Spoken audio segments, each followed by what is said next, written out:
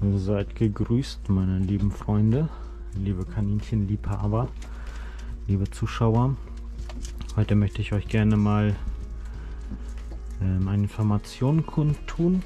Und zwar aus der Situation heraus ähm, ist mir jetzt etwas aufgefallen. Und zwar so ein bisschen zum Hintergrund. Ich ähm, packe normalerweise, wenn ich den Stall sauber mache, immer solche Pellets mit rein. Solche Holzpellets, die man normalerweise zum Heizen oder ähnliches ähm, gebraucht. Das sind solche Dinger hier. Und habe eine relativ geringe Geruchsbelästigung, was die ganzen Kaninchen hier angeht. Nun ist mir der Sack leer gegangen. Ich bestelle den meistens bei eBay. Schön frei Hauslieferung. Ist der mir jetzt leer gegangen. Und ich hatte jetzt dann quasi die Situation, dass ich die Kaninchenstille sauber gemacht habe und jetzt im Prinzip nur mit Stroh alles hier ausgedeckt habe.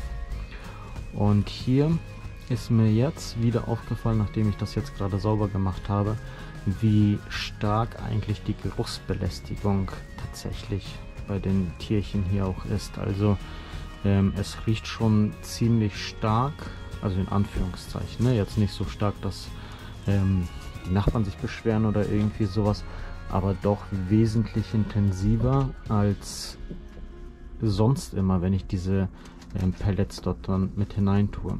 Vielleicht habt ihr auch dieses Problem, dass ihr euch so ein bisschen an den Uringeruch oder ähnliches stört, dann kann ich euch tatsächlich auch empfehlen, diese Pellets euch mal zuzulegen. Die sind nicht so teuer. Ähm, ich kaufe dir mal gleich mehrere Säcke, damit ich auch dann erstmal wieder Ruhe habe. Und wenn ich den Stall hier sauber mache, dann ist das im Prinzip das erste, was ich hier hineinwerfe. Also man konnte es, glaube ich, auch schon in den anderen Videos sehen, wie ich das dann verwendet habe. Das packe ich dann darunter als unterste Schicht.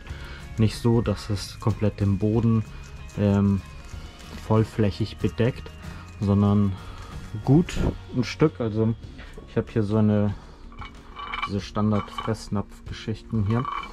Und davon packe ich in, in diesem Stall jetzt hier, in dieser Fläche, ähm, zwei bis drei solche Einheiten rein. Und ich muss ganz ehrlich sagen, da ist von der Geruchsbildung fast gar nichts mehr zu merken. Also es ist immer noch ein bisschen so, dass man dann sagt, ja, man merkt, dass hier Tiere leben, aber nicht so, dass du schon einen Meter von einem Stall sie zu riechen bekommst. So ist es dann nicht. Ne? Wenn man das dann noch re relativ ähm, regelmäßig sauber macht, dann sollte eigentlich auch keine Geruchsbildung mehr dort dann auch vorhanden sein. Von daher, wenn ihr auf der Suche gewesen seid oder vielleicht solche Problematiken habt, wo ihr ja mit, mit Gerüchen zu tun habt oder belästigt werdet oder ähnliches, empfehle ich euch mal sowas hier auszutesten, weil das ist echt eine, eine gute und sichere Nummer. Ich hatte das damals auch irgendwie durch Zufall im Internet mal zu lesen bekommen. Dann dachte ich mir, ja gut, solche ähm, solche Holzpellets kann man ja mal kaufen, einfach mal austesten und ich bin ziemlich zufrieden. Also es wirkt wirklich sehr, sehr gut. Vielleicht habt ihr auch Möglichkeiten. Eine Möglichkeit hatte ich mal irgendwo auch gelesen, dass man Katzeneinstreu oder irgendwie sowas dafür verwenden kann. Ich selber, das ist so meine persönliche Meinung, halte jetzt nicht so viel davon. Ähm, ich schätze mal, also ich weiß es nicht, ja, habe ich selber noch nicht ausprobiert. Aber ich kann mir nicht vorstellen, dass das irgendwie eine, eine gute und saubere Nummer dann sein würde. Vor allem Dingen ist ja auch die Gefahr dann gegeben, dass die Kaninchen das dann auch so fressen und eventuell ähm, es ihnen nicht gut tut. Diese Dinger hier hatte ich mal ausgetestet, ob sie die irgendwie essen würden, aber das tun sie nicht. Willst du es essen? Ne, will er nicht essen. Das ist ein Sie, will sie nicht essen. Von daher meine klare Empfehlung.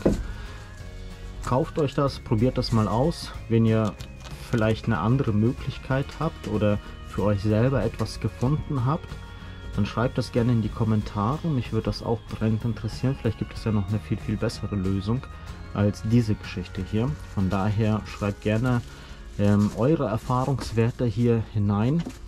Das wird mich dann schon sehr interessieren. Ja, vielleicht noch mal ein Wort zum gestrigen Video. Ähm, da habe ich jetzt auch ähm, relativ viel Positives zu hören bekommen. Gerade auch an Konstanze und Franziska. Gruß geht raus.